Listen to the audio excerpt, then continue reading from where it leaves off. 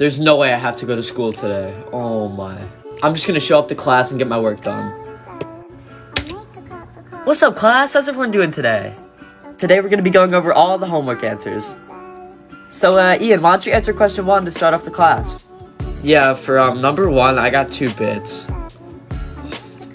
The correct answer is two, but why did you say bits? What's a bit?